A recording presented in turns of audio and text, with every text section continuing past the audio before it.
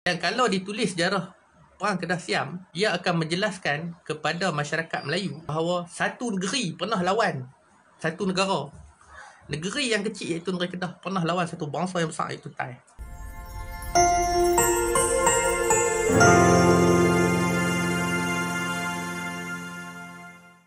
Sains masyarakat tak boleh nak bukti sebab benda tu adalah perilaku manusia.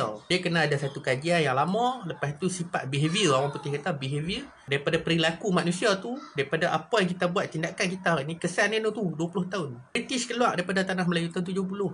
Secara, dia keluar rasmi merdeka 57, tu rasmi. Tapi masyarakat dia, orang-orang dia, penega-penega dia keluar daripada tanah Melayu tahun 70. Eh tanya kawan-kawan tu, mak-mak kita, Mak saya sendiri pernah tengok. Mak saya saya duduk, biasa duduk Pulau Pinang. Kereta tahun 70 duduk ada lagi orang putih. Tahun 70-an tu, kesan dia tahun 90-an.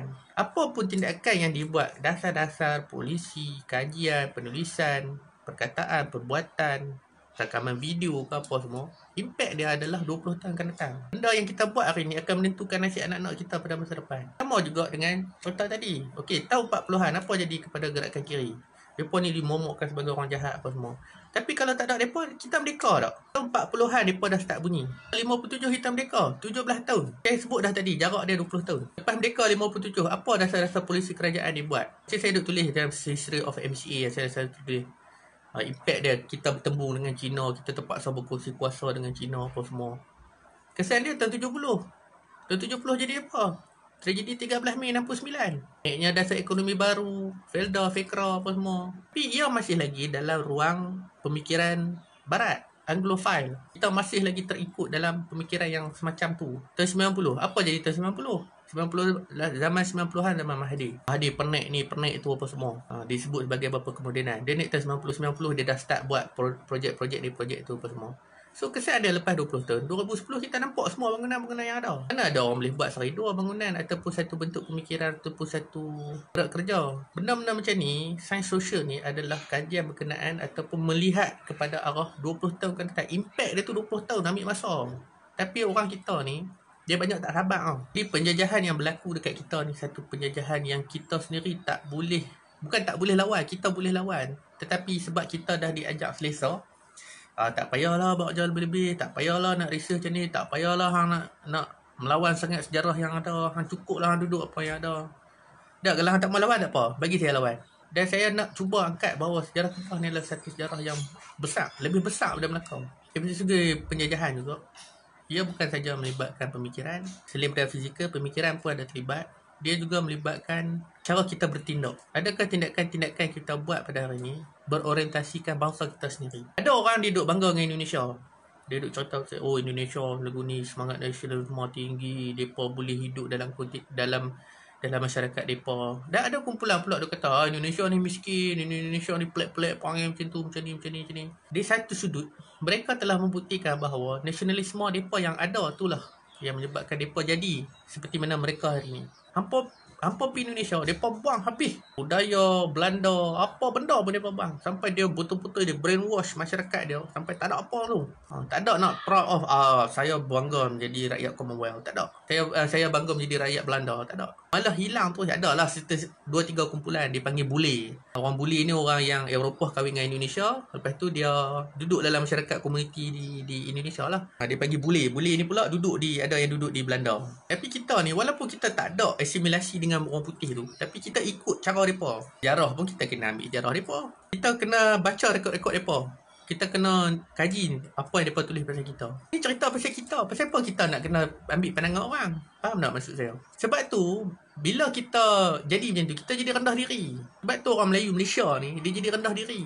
Hmm, tak apalah. Malu lah saya ni orang gagal. Bangsa kami bangsa bangsa yang gagal pasal kita tak pernah angkat diri kita kita tak pernah tunjuk kehebatan kita. Sebelum orang putih mai sini, mereka tak mandi, kita mandi dah. Mereka duk berlaku zaman gelap Eropah. Ha, zaman penyakit Belanda, wabak apa je dah semua. Kita dah ada tradisi perubatan yang pelbagai. Tak kisahlah, Ayurveda ke, kutik daripada mana pun. Tapi kita ada kehebatan tu sendiri. Tapi nak ada siapa angkat. Kita pun tak peduli. Bila ada orang buat kajian, contoh macam arwah apa nama Harun Makpiah nak menceritakan bahawa perubatan orang Melayu pun ada perubatan dia sendiri. Ha, bukanlah sekadar-kadar bukanlah semata-mata uh, Ayurveda perubatan Cina ada. Orang Melayu pun ada perubatan dia. Tapi kita peduli. Ha, dia tajuk tak best bang. Buat apa nak tengok. Orang putih dia ada medical apa. Mana ada. Dia teknologi moden. Dia medical moden. Moden. Dia pun ambil daripada Arab. Lepas tu dia kembangkan. Kita ni sendiri. Kita tak angkat pun. Okey, masalah sejarah Kedah ni. Saya tak pastilah apa yang berlaku dekat Kedah. Tapi pada zaman-zaman Prof. Uh, Isa Osman, uh, zaman arwah uh, ni Yazid Saleh mantan pengerusi Persatuan Sejarah uh, zaman adik dia Siti Awal Saleh zaman tu nampaklah perkembangan sejarah Negeri Kedah tu. Kedah ni dia banyak sangat pengaruh dengan Siam. Jadi dia, bila kajian satu-satu kajian berkenaan dengan sejarah Negeri Kedah tu dia kena relate dengan Siam. Barulah dia ada approval ataupun ada pengiktirafan lah. Sebab tu kalau kita tengok sejarah Kedah ni daripada zaman sampai Sultan Abdul Hamid sampai Sultan Abdul Shah sekalipun uh, sejarah Kedah masih lagi dipengaruhi oleh Siam lah. Sejarah Kedah ni dia tak boleh berdiri dengan sendirinya. Dia kena betul-betul lawan. Dan sebab tu sejarah Kedah ni pahlawan-pahlawan Kedah tak diangkat sebagai satu perwira dalam dalam sejarah Malaysia. Mana ada? Kita lawan Siam kot. Siam tu negara besar. Apa mana lawan? Dan kita lawan British sebab British duduk jauh. Kita boleh lah lawan dia. Pasal dia pun dah belah. Kita ni, masalah dia, masalah sejarah kat Malaysia ni, ialah kita terlalu nak menjaga hati. Ha, tak mau ni terasa, tak mau ni terasa. Tak, dalam bidang sejarah yang saya duduk mengaji, yang ni saya duduk fikir banyak kali. Saya duduk tertanya-tanya. Tak aku mengaji sejarah tanpa belas kasihan. Tak ada ada perasaan belas kasihan, tak ada ada perasaan. Bila mengkaji sejarah, tolak perasaan ke tepi. Kita tak boleh bias. Tapi bila main peringkat yang lebih tinggi, sejarah ni ditulis, oh tak apalah. Kita jangan cerita panjang-panjang lah. Sebab tu kita je tak berkembang. Kalau hampa kata Indonesia tu sejarah ditutup, Ui, power Indonesia. Hampa pi lah Indonesia. Pi jangan pi saja. Hampa masuk dalam universiti dia. Hampa tengok persidangan dia tu. Hampa tengok macam mana mereka bentang kajian mereka. Sebab tu mereka dapat menteri yang bagus. Menteri pendidikan yang tahu masalah-masalah dalam bidang pendidikan. Sebab dia nampak benda tu. Nak tengok sesebuah negara ni bukan sekadar kadar literasi. Bukan sekadar uh, pembacaan buku. Tapi hampa kena tengok apa yang berlaku dalam suasana politik sesebuah masyarakat. Kita selalu duk sebut Menteri yang bodoh datang daripada pengundi yang bodoh. So, kalau menteri dia pandai, adakah masyarakat dia pandai? Memang pandai. Ni benda-benda macam ni yang impact sosial yang berlaku dekat kita disebabkan kita tak pernah menongkah arus. Kalau kita lawan arus, hang akan jadi satu figure yang buruk. Macam orang kata contohlah eh, Muhammad Adam yang banyak mengkaji bertentangan arus. Dia dia jadi macam tak tahulah saya duk baca dia banyak. Sekarang ni dia lebih kepada Jawa sentrik lah. Dia melihat bahawa Jawa tu adalah ada satu kelebihan tertentu lah. Tak kisahlah tu dia punya pendapat peribadi dia. Sebelum-sebelum ni orang duk buruk kan dengan Prof. Ahmad Adam pasal dia kata hang tuha dengan hang tuha tu satu konotasi bahasa yang berbeza. Tuha dengan tuha tu kan jauh beza. Benda yang rumit, benda yang kecil macam tu, kita boleh perbesarkan dan kita bergaduh dengan kita tuduh dia macam-macam kan. Sedangkan dia adalah Prof. Emeritus, kira orang besar tu. Habis meta dah lah dalam bidang akademik ni. Bila saya dengar dalam pembentangan dia dia ceritalah pasal kepentingan mengkaji manuskrip. Dan last sekali dia kata orang muda kajilah balik sejarah kita uh, lihat kembali sejarah kita kajilah manuskrip-manuskrip yang ada ni hampa nampak dia tu digambarkan oleh masyarakat sebagai satu tokoh figure yang tak baik tapi bila saya dengar sendiri dengan telinga saya ni dia kata orang muda kajilah balik sejarah tengoklah balik manuskrip kita kita ni duduk kena jajah jadi balok. Bila orang kata malas kita marah. Rajin ni ialah satu perkara yang kita nak buat kita nak kena kita nak kena over daripada orang lain. Kita nak kena lebih effort kita tu. Kena lebih daripada orang. Tu baru nama dia rajin. Orang duduk Kuala Lumpur buat tiga kerja. Ha, tu rajin lah tu. Macam juga dalam bidang kajian sejarah. So kalau orang mengkaji satu sudut macam ni, Orang lain kena support Dan hampa orang yang tak mengkaji sejarah tu sendiri Hampa support lah kajian tempatan Bila satu kajian tu diangkat oleh orang putih Orang Melayu kita tulis ha, Yang viral Viral oh, Gila-gila punya viral oh, Dia kata saya pelajar Melayu yang telah Betul apa Akiti apa semua Yang mengajak dia Oxford Semua oh bangga dengan dia apa semua Ni yang dekat Malaysia ni yang bijak pandai kat Malaysia punya ramai ni pasal apa hampa tak boleh angkat macam tu kata hampa ni otak kena jajah. Hampa tak nampak oh dia ni orang duduk Malaysia leceh punya apa leceh lah dia punya kajian. Hampa tak payah duduk dengar mana dia tak ada pengiktirafan. Ni Indonesia dengan Thailand tu dia tak payah tunggu tau pengiktirafan daripada luar negara. Dia buat sendiri. Macam saya cerita buku Ramang Kamheng tu. Orang putih tu yang pecahkan balik penipuan yang dibuat oleh Mongkut. Mengatakan bahawa sejarah batu bersurat Ramang Kamheng tu adalah satu penipuan. Tetapi sebelum orang putih tu nak jumpa tahun 83, 100 tahun lebih orang Thailand pegang bahawa itu adalah sejarah Sukhothai. Tapi kita, bila satu orang nak angkat sejarah, orang kita sendiri yang nak angkat sejarah mengikut metodologi yang betul, mengikut kaedah yang betul, kita tak pandang. Banyak saya tengok macam tu. Tu kesalahan kita yang paling besar. Sama juga saya cerita tadi pasal gerakan Islam, pasal kaum muda, kaum tua, pasal uh, pejuang nasionalisme kita. Apa jadi kat mereka? Oh, mereka semua jahat. Lelah kita jadi apa? Ha, duduklah cara macam orang putih ni. Bajet orang putih, kononnya macam orang putih. Tapi apa pun tak. Lelah salah Cina. Oh, ni semua Cina salah. Ni semua Cina salah. Kita tengok mereka ada kelebihan. Pasal apa kita tak buat macam mereka? Kita tak lawan. Dalam bidang sejarah, saya tak mau cerita bab-bab lain. Ekonomi saya tak mau cerita.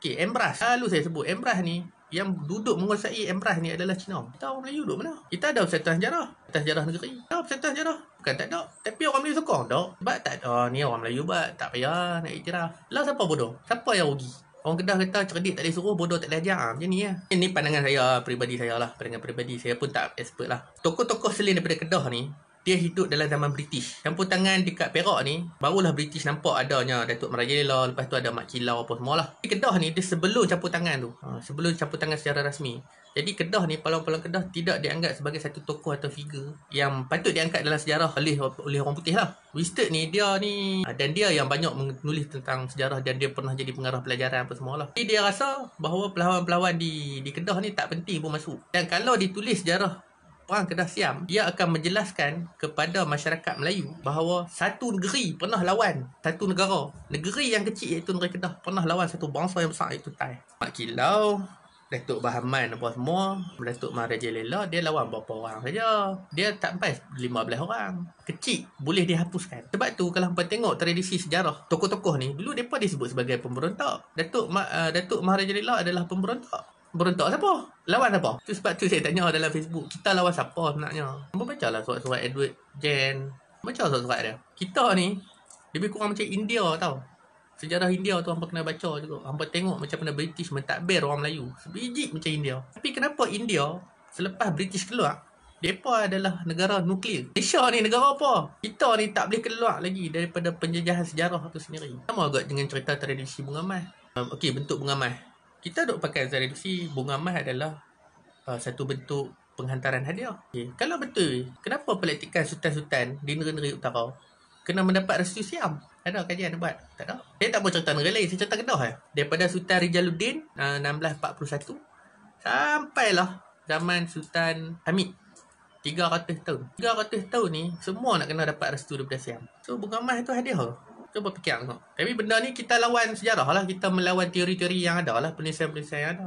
Dan akan menunjukkan kelemahan kita orang Melayu. Oh, kita kena jajah dah dulu ni. Kita kena macam ni, kita macam tu. Saya fikir macam ni. Kalau kita tak tunjuk kelemahan kita, adakah kita akan jadi kuat? Kita duk tunjuk kita oh, hebat lagu ni, hebat lagu tu. Kita ada senjata ni, kita ada senjata tu. Kita duk cerita melakon perang lawan uh, Meriam, lawan Senapang. Tak, lah mana? Tu adakah dengan kita duk bangga dengan sejarah yang ada tu kononnya orang Melayu power gini gini gini gini adakah kita akan jadi satu bangsa yang berdaya saing? Tak juga. Tu apa point kita menyembunyikan sejarah? Yang tu pandangan saya lah, pandangan peribadi saya. Tapi saya nak tanya apa? Kalau kita sembunyi kesakitan kita, adakah kita akan cari ubat? Orang tak tahu sakit, adakah orang akan bagi ubat kan? Sebab tu kita kena buat kajian. Kita kena tolong. Kalau hampa yang tak boleh nak kaji, hampa tolong angkat sejarah ni. Tengok mana-mana tokoh-tokoh sejarah yang buat pementangan ada persatuan masuk join lah jadi ahli walaupun tak aktif kalau ada idea sumbangkan idea tu kepada masyarakat